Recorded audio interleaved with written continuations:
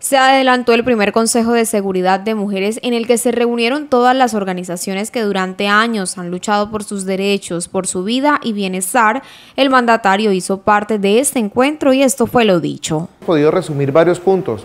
Un primer gran punto es que estas acciones colectivas sean constantes, que cada tres meses tengamos este Consejo de Seguridad. En segundo lugar, la articulación institucional, especialmente en la parte de la recepción de la denuncia, que sea ágil, inmediata, que te despliegue acciones que conlleven a la protección.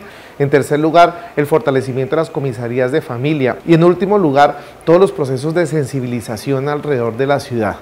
Este Consejo de Seguridad continúa trabajando para las mujeres y seremos los primeros garantes de sus derechos. Mujeres que hicieron parte de este encuentro expresaron la importancia de cada una de las estrategias implementadas donde se crearon compromisos para frenar la violencia contra las mujeres. Sirve el Consejo de Seguridad de Mujeres porque es evaluar lo que está pasando es mirar el sistema, es revisar que se haga ese seguimiento, se haga ese acompañamiento, pues es muy positivo para Barrancas, muy positivo para las mujeres y realmente nos va a permitir articular. Sirven porque permiten que mostremos una realidad que estamos viviendo, trabajar en equipo es lo único que puede hacer que logremos un resultado efectivo. Se ha definido un plan para garantizar los derechos con acciones concretas para fortalecer el trabajo en equipo de las instituciones.